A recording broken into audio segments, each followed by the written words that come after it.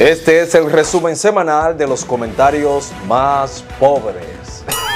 La compañía de Amazon está generando bastante disgusto y poca credibilidad hacia sus clientes, de tal manera que ellos mismos abordan los vehículos para verificar si sus paquetes están disponibles.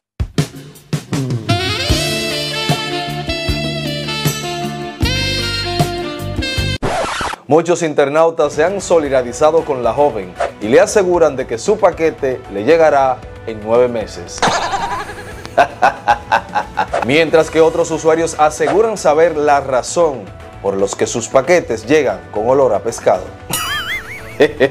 Otra internauta se manifestó con bastante alegría y codicia, pronunciando lo siguiente. Por eso los paquetes llegan aplastados, llenos de féculas y méculas. Esa recibió un paquete de 12 pulgadas del Negrón.